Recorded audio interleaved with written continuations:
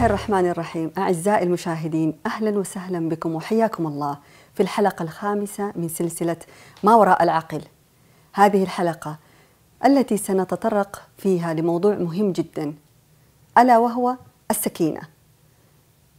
بس في البداية حنتطرق لموضوع يوصلنا لمرحلة السكينة أو السلام أو السكون الداخلي. هذا الموضوع ألا وهو موضوع الأنا. هل جربت أن سألت نفسك قبل هذا من أنا؟ من أكون؟ لماذا أنا هنا؟ هل أنا يا ترى تلك المشاعر اللي بأشعر بيها؟ أم أنا تلك الأفكار اللي قاعدة أفكر فيها؟ أم أنا هذا الجسد اللي بيحتويني؟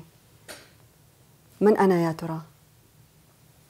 جرب أن تسأل نفسك هذه الأسئلة بناء عليها ستتكون لديك صورة داخلية. عن الأنا.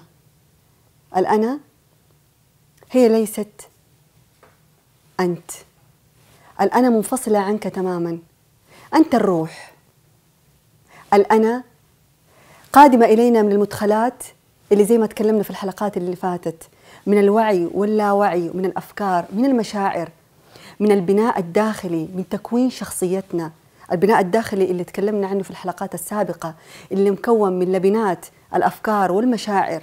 هذا البناء إما أن يكون بناء صلب وقوي وإما أن يكون بناء هش. بما أنه الشخصية بتتكون من واقع البناء الداخلي اللي بتحتويه بما أنه العقل اللاواعي بيعمل دمج في هذا البناء ودمج في الأمور اللي داخلت له وعلى أساسها بيكون الشخصية.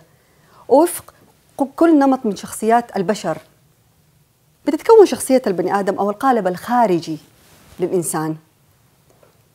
كل إنسان فينا بيحتوي داخله شيء معين اسمه الأنا. أو كما أطلق عليه العلماء هو الإيجو. هذا الإيجو يجب أن لا ننكره. يجب أن نتعامل مع هذا. الأنا الأنا أو الإيجو بوعي. متى ما وعينا بهذه الأنا أستطعنا أن نسيطر عليها. أستطعنا أن نسخرها لصالحنا. لا يمكن أن نتخلص من الأنا. مستحيل إن ممكن إحنا نتخلص من الأنا. ولكن إحنا بنتحرر من القيود اللي مقيدتنا بيها ومسيطرة علينا بيها الأنا. لازم تعي أنك لست جسمك لست عقلك لست قلبك. القلب مجرد أداة بتستخدمها الأنا للتعبير عن المشاعر. الجسد مجرد هو أداة بتستعملها الأنا للتعبير عن السلوك. العقل مجرد أداة بتستعملها الأنا للتعبير عن الفكر. ما هي الأنا؟ الأنا هي شيء بيسيطر على الجسم والعقل والقلب. الأنا هي اللي بتطلق الأحكام هي اللي بتنقض هي اللي بتعتب. هي مصدر الرغبات مصدر الشهوات هي مصدر المخاوف. هي اللي بتعطيك تصور عن ذاتك. بحسب ما تكلمنا في بداية الحلقة التكوين والبناء الداخلي. الأنا لا يمكن إشباعها. مهما أعطيناها لا يمكن إشباعها. متصلة عادة الأنا آه بيسموها في, في العلوم الأخرى بالأنا الدنيا أو متصلة بجانب الشهوات أو خليني أقول لكم الأمور الأرضية من الإنسان. هذه الأنا متى ما غذيناها طغت على الروح طغت على القيمة السامية اللي داخلنا طغت على الوعي اللي أساسه الروح بماذا تتأثر هذه الأنا؟ بتتأثر زي ما قلنا في الحلقات السابقة بكل المدخلات اللي بتدخل داخل عقلنا وداخل عالمنا الداخلي إيش واجبنا نحو هذه الأنا؟ هل نمحيها؟ نلغيها؟ محال لا نستطيع أتعودت طبيعة عقولنا وطبيعة حياتنا إنه إحنا دائما نلصق إلى نفسنا الحال اللي إحنا فيه بمعنى أنا زعلان أنا غضبان أنا خائف أنا تعيس أنا محبط أنا فاشل أنا سعيد أنا مبسوط اذا دائما قبل الحالة اللي بنكون عليها بنلصق لها كلمة أنا. لذلك أتعود العقل على أنه نحن هذه المشاعر أو نحن هذه الأفكار والحقيقة أنه غير ذلك. نحن لسنا المشاعر ولسنا الأفكار إنما نحن الروح. بما أننا ألصقنا بطبيعة تفكيرنا وبطبيعة عقلنا الأنا بحالتنا اللي إحنا فيها الآن. إيش اللي بيحصل؟ بيحصل عندما نرفض هذه الأنا إحنا إيش قاعدين نعمل؟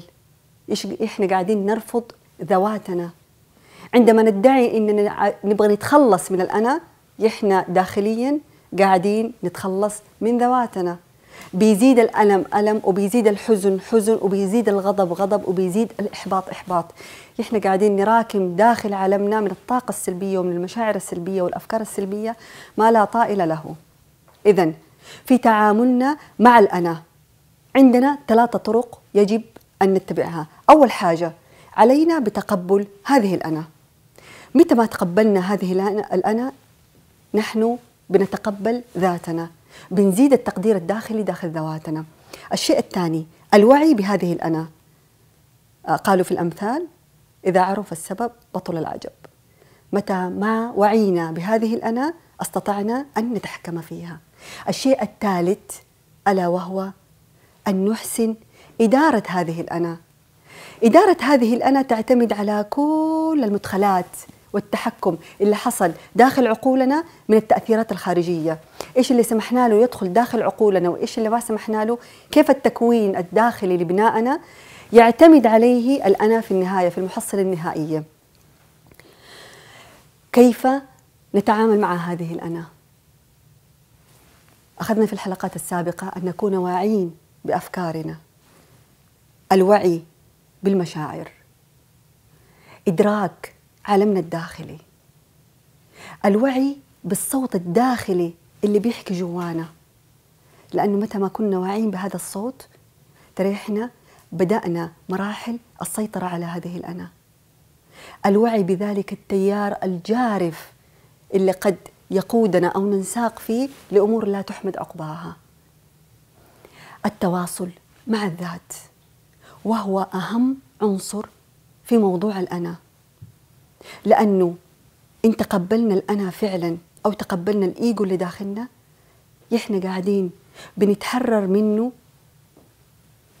وبنزيد التواصل مع ذواتنا. الأصل في وجود الأنا إيش هو؟ هو لحماية الإنسان هو للرغبة في البقاء. إذا مستحيل أو محال إنه إحنا ننفصل عنها. ولكن الحل لهذه الأنا هو الاتصال بالسكينة الاتصال بالسكون. أكيد سمعتوا كلمة السلام الداخلي في كثير من الكتب والبرامج. هذا السلام اللي بيقبع داخلنا نحن أنا وأنت. هذا السلام اللي إن اتصلنا به زاد الوعي حلقت الروح. تحررنا من الانا كيف بنتصل بهذا السلام الداخلي؟ بالتمرين اللي بنطبقه في كل حلقة.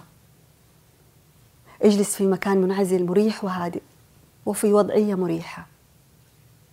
اغمض العينين وراقب تنفسك إلى أن تصل لتلك النقطة العميقة داخل ذاتك.